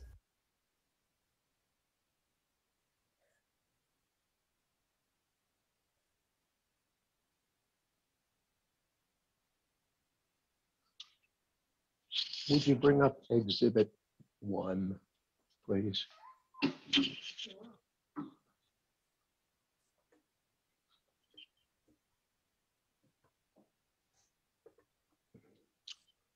To the second page, please.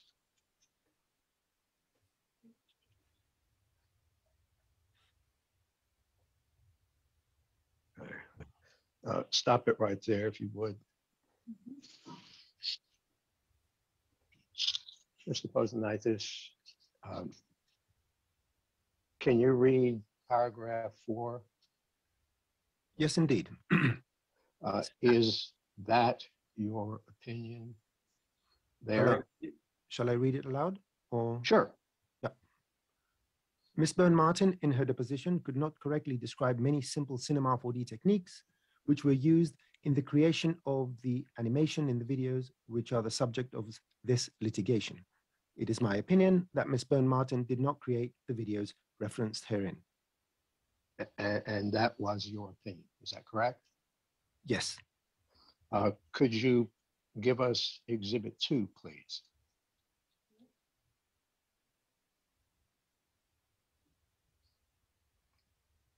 And scroll down.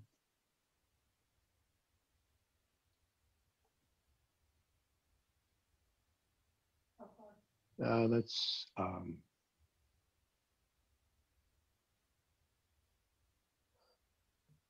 uh, scroll it up just a bit more if you would.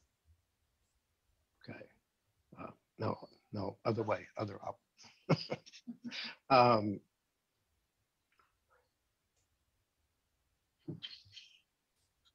Could I'd like you to read aloud paragraph seven, if you would, Mr. Posens. Zantis. Yes. It is my expert opinion, after reviewing approximately 120 videos on the Wildcraft channel, which were allegedly created by Miss Bone Martin, and also her videotaped deposition testimony, that her explanation, level of understanding, and lack of knowledge of Cinema 4D software shows that she could not have created all these videos without a significant amount of assistance. Her knowledge, shall I continue the whole thing? Yes, the whole thing, please. her knowledge of special effects, fire, smoke, fluids was very limited compared to the animation techniques that I reviewed. Ms. Bone Martin's claim that she created these effects inside Cinema 4D without using third-party plugins is not correct because they cannot be created if the third-party plugins are not installed on the computer. Third-party plugins are tools that you install inside Cinema 4D to add functionality which are created by companies other than Maxon. Examples of third-party plugins are Turbulence FD or X particles that can be used to create fire, lava, and smoke effects.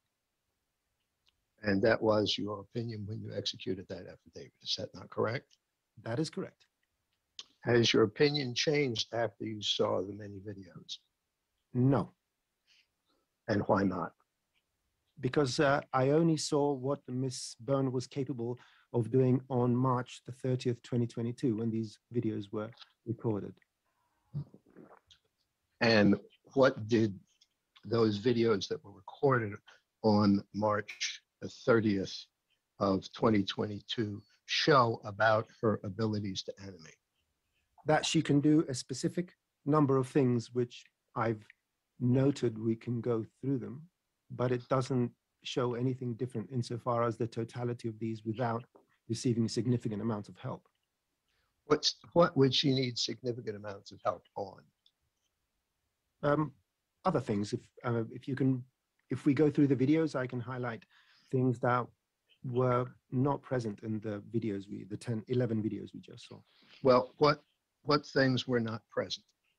I I don't know off the top of my head, uh, but we can go through the videos, and I can identify various things. Well, I, I asked you to take notes. We're not going to go back through an hour's worth of videos. Um, uh, Do your notes show any things that were necessary to the creation of the videos uh, that were not shown in Ms. Bones' uh, videos, the 11 videos that you just saw? My notes. on. You can answer if you know. Oh, I do. My notes show what I saw uh, Miss Bone doing. My notes when are not. The notes I took right now, while I was watching these videos, were about the techniques she used when making these videos. If uh, I need to make uh, comparisons, we need to go, uh, I don't know how, through the videos and address points um, one by one. Well, I believe your testimony before was that there were some things necessary for the videos that you did not see. Is, is that, was that what you said? Yes. Okay, can you tell me what those things necessary to the creation of the videos uh, are that you did not see? Yes, it's a uh, it's a number of, of things. Uh, I, do you want me to give you some examples of that? Well, you, you, yes, I want you to tell me what it is that's missing from those videos that would be necessary to create the videos that we're talking about in this lawsuit. Yeah, the, these are many things. That's what I'm saying. It's not just one or two things. Well, I, I'm asking you, you've told me there are things missing, and I'm asking you to tell me what those things are. Can you do that? Uh, I can't because it's everything we didn't see that were present in her videos that we didn't see in the 11 videos we just saw. And what were those things that we didn't see that we should have seen? Well, it's again, it's a large number of things. Uh, am I allowed to go through the videos? I don't know uh, the the process of this. I can mention a couple just to give you some pointers, but uh, th- these videos we are talking about 120 videos here. And uh, 11, you know, these 11 videos didn't encompass the, the totality of these, uh, of the techniques used in these videos. I mean, And I again, I'm asking you, what techniques necessary to make those videos were not manifested in the videos that you saw, saw? Yes, you're asking me a question which is very difficult to answer in a reasonable, uh, in a reasonable way, way and a reasonable amount of time. We have to go through some videos and I can highlight things we didn't see. Uh, for example, rendering. We didn't see any final rendering. That's one glaring example that exists in every single video. And we didn't see any demonstration of that. And again, th- there's a whole list which uh, w- w- going through the videos, we can identify it. But it's a very vague question you're asking me. It's very difficult for me to to answer, and I don't want to err in either on either side. I want to be very uh, specific. Mr. DeBose, your, your video's not on.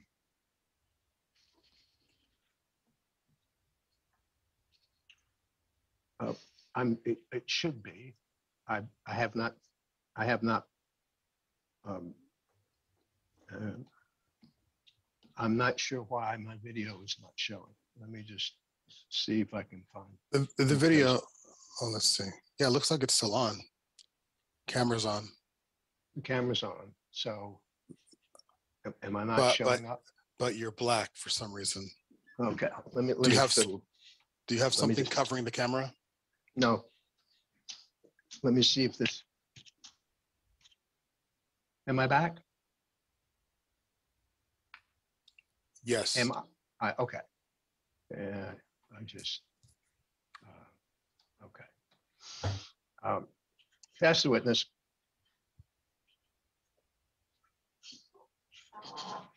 I have no questions. Well, um. uh, Uh, Mr. I've got, Martin? a- I've, yes, I've got a few questions. Uh, let me get everything situated. Uh, There we go.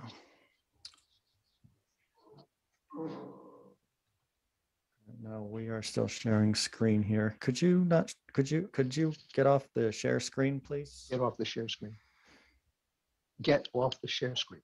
Oh, you Okay. Okay. okay. Okay. Mr. Pozantzis, how are you? Fine, thank you. Good. Um, I'm just going to ask you a few questions. I won't keep you here long. Um, Can a person who does Cinema 4D uh, animation, an artist be self-taught Yes, indeed. and at any age? Uh, pretty much, uh, yes. I mean, uh, to a certain degree. Uh, someone is a teenager, yes, certainly they can.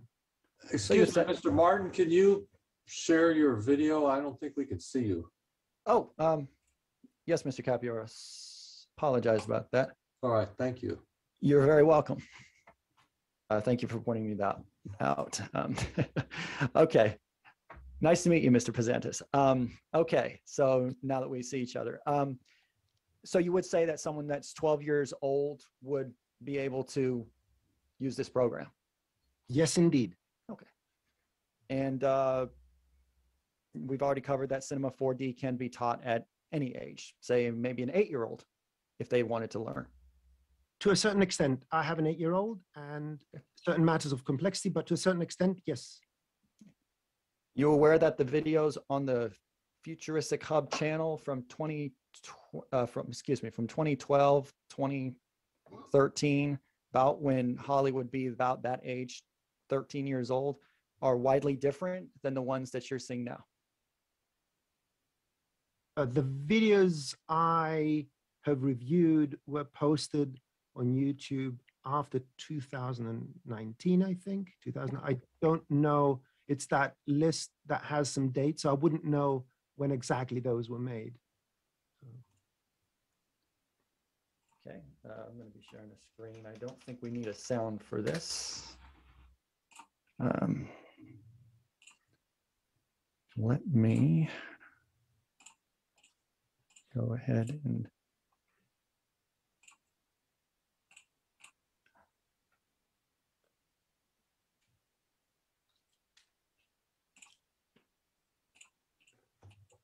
Okay. Um,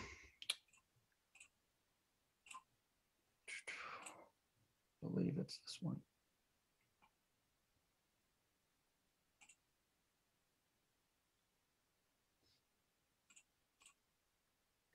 I do apologize. It's uh, share screen. Okay.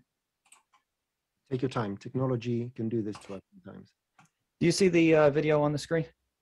Yes, I do, sir. And and would you read the date of this video, please? On the bottom left. December 30th, 2012. Thank you. And now the, uh, at this particular date, Holly Bung would be 13 years old. Mhm. Okay, I'm gonna push play. It's a 47 second video.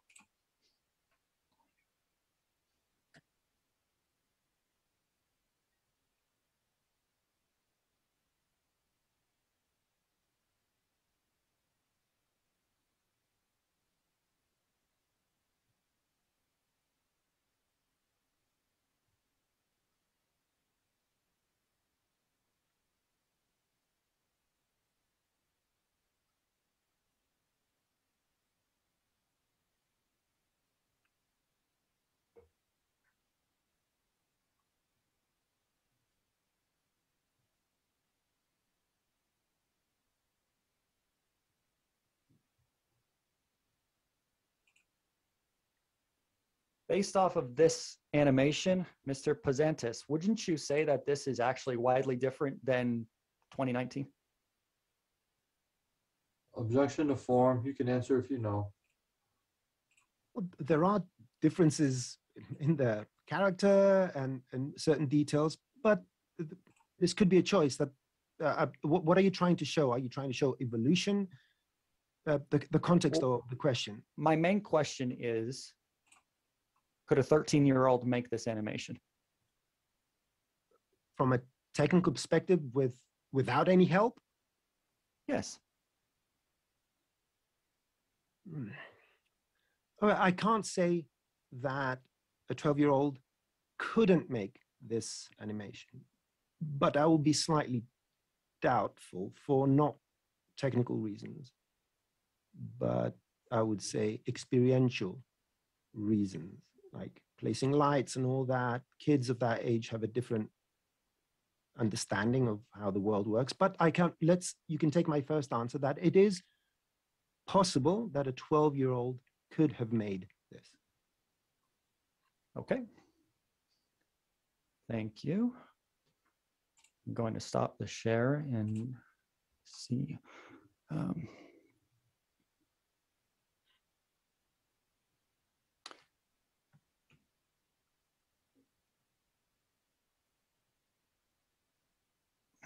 Would you agree that if someone's using Cinema 4D for, let's say, 10 years straight, mm-hmm. would you agree that they have the freedom to only know what they want to know about the program to make certain animations without the need or desire to be a professional? Oh, indeed. That applies So to it's- every, And you would agree that an animation artist doesn't have to follow a rule in animation as far as the art is always going to be different per person? Yes, although I'm not a, a, an art connoisseur, my personal experience has shown that artists go their own way and they, they don't follow rules. That's what makes, makes artists. Uh, before before this deposition today, were you aware of the program that Holly Bone imported called Mindways? I had heard of it, but I had never used it, used it.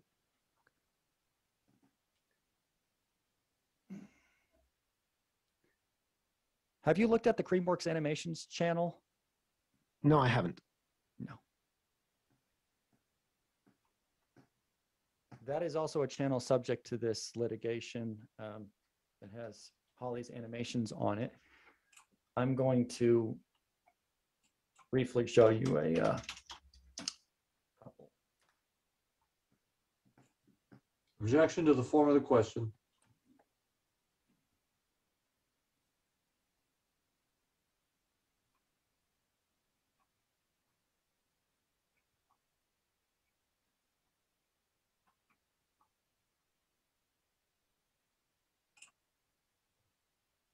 I'm passing the ad here. Please hold. Okay.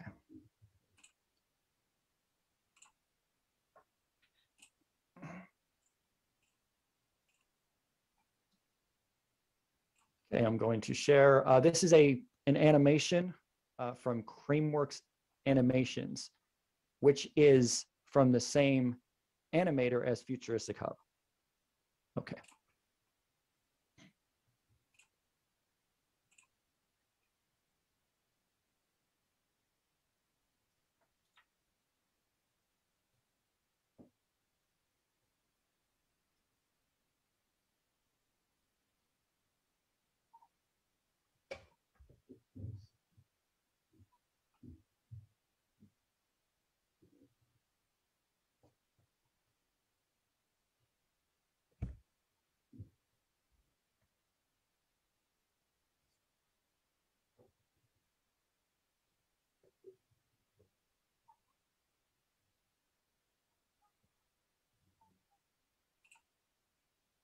Based off of what you've seen, is this widely a different animation from the ones on Futuristic Hub? Well, it looks different, but there there's some obvious similarities. But then again, I, I don't really have an opinion because it's not very difficult to replicate this style. It, it takes no effort whatsoever to do this. Could you read the date that this video was uploaded on the bottom left, please? April 13th, 2019. Would you say the animator who animated this particular animation is a professional? I can't tell that because I don't know their intent and their context. You can choose, I can choose to do this. And I'm not even an artist. And, And would you, yeah. would Sorry. you agree that Holly Bone has the choice to choose if she wants to be a professional or not? Objection to form. Uh, I will reply. It, it's anyone's prerogative to to decide to be whatever they want to be.